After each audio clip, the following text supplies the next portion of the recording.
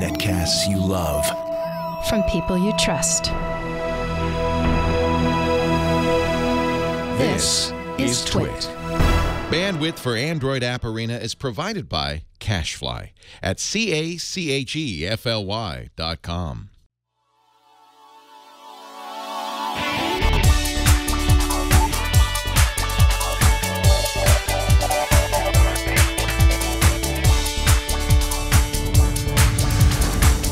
This is Android App Arena, episode 133 for Wednesday, January 18th, 2017. System tweaks. This episode of Android App Arena is brought to you by Audible. To download a free audiobook of your choice, go to audible.com slash arena.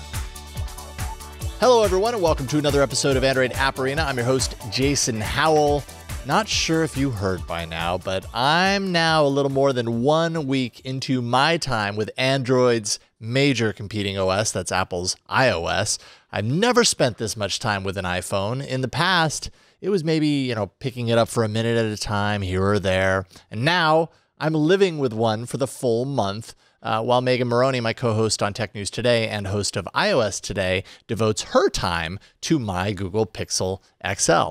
One thing I've come to miss is some of the customization capabilities that Android affords. It's no surprise that Android is a bit more open when it comes to modifying the inner workings of the OS on a deeper level than what you find on iOS.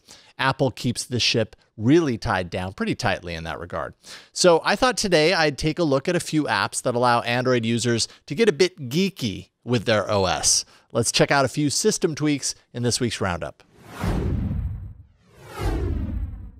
One thing that Android has over iOS, and it's a feature that keeps me engaged with the platform, is the ability to replace system actions with other ones. For example, when you tap a media stream, uh, you may have a number of apps installed on your Android device that are capable of playing that format. So you get a window that pops up that asks which app do you want to launch to play it.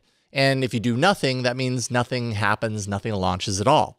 An app called Better Open With gives you control over that common system behavior by allowing you to assign priority to certain apps on your device. First, I'll hop into the various types of files and formats that I want to configure within Better Open With. I'll jump into the dialer just as one example, and here I'm shown the different apps on my device that identify themselves as dialer options. I can hide any that I don't think I'm ever going to really need to see. In this case, I wouldn't expect to see contacts in that context, so I'll go ahead and hide that. Uh, then I can choose a preferred app, the app I actually use more often than any other. And then down below, I can set a countdown timer. Let's just put five seconds down there. Finally, let's now pull up a phone number on a web page. And when I tap it, I'm shown the default open with menu. Uh, but you can see there, better open with is one of those selections as well. This one time only, I'm going to select always open with better open with. And now in the future, when I tap that phone number on a web page, better open with's improved overlay now appears. The app I chose as my preferred app in the setup is now highlighted, and those that I hid aren't there anymore at all. And down below, you can see the countdown timer is running, that if nothing is tapped at all, the default app is going to actually launch. Ultimately, what this allows for is for me to launch automatically into my default if I want, but I also still have the option to choose alternatives when I want to. Find Better Open With in the Play Store for free. In the world of iOS, there is a feature in the stock settings that allows you to determine what the volume rocker on the device actually controls. Does it always control the ringer, or would you rather it control the volume of media and apps?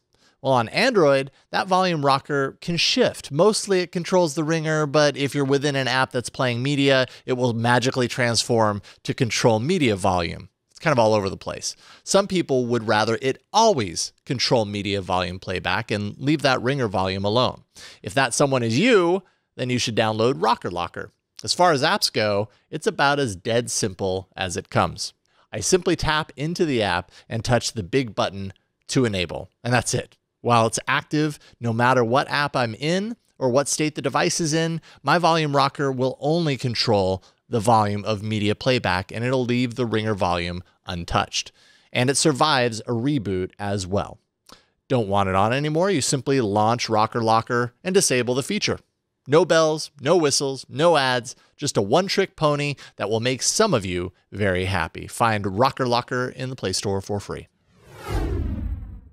All right, before we move on, let's thank the sponsor of today's episode. This episode of Android App Arena is brought to you by Audible. I'm a huge Audible fan. I've been a subscriber for years now, and we're going to talk about a little bit about why. Audible is a leading provider of audiobooks across all types of literature, including fiction, nonfiction, and periodicals. For listeners of Android App Arena, Audible is offering a free audiobook to give you a chance to try out their service. You already know what to do. You listen to podcasts all the time. It's kind of the same thing, except you're listening to books. It's pretty awesome stuff. The book I'm listening to right now is actually a total uh, departure for me in my usual diet of rock and roll autobiographies. It's normally what I consume through Audible. I have tons of them in my in my library. Uh, I've gotten on a kick lately of listening to books on investing some in real estate, some beyond that kind of focus. But a book that's really captured my attention right now at the moment is Profit First by Mike Michalowicz. Uh, it's a way to take how we pay ourselves when it comes to the business that we do. Once we pay all the things that we need to pay, we assume that what is left is then ours to you know figure out for ourselves. But as you probably know, so often we pay out based on what we have at that moment. And that in turn leaves little or nothing for ourselves. So, Profit First is all about how we change that line of thinking to make paying ourselves a higher priority and how we execute that idea safely so that we can kind of, you know, kick a little down to ourselves before we take care of the other have tos.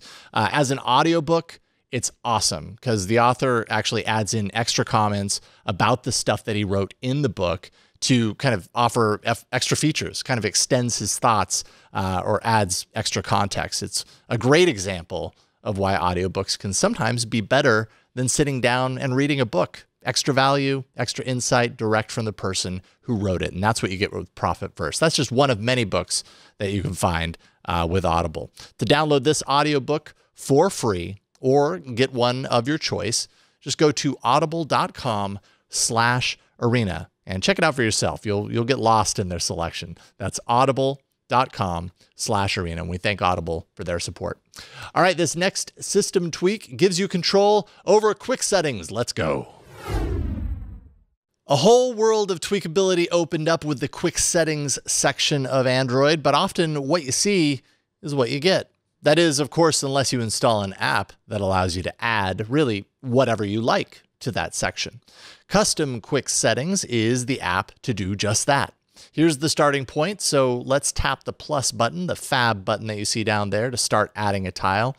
Depending on your version of Android, you may need to jump through some additional hoops to activate the app. But once you do, you get this interface where you can select the action of your dream tile. Say you want to launch an app quickly from the quick settings pane. You can just select that app uh, and it'll appear there going forward as a tile. If you have a website that you want easy one tap access to, you can just drop it in there, tap it, and you'll jump to the site. You get the picture. For 99 cents, you can remove ads from the interface, and more importantly, you'll gain access to a whole slew of other tile options, kind of more advanced options system shortcuts, also widgets and toggles of all types, and even catered to root users. Root users get extra toggle options that go a bit deeper than normal, allowing for one tap ADB access, some forced immersive mode settings, and all sorts of system restart options from your quick settings.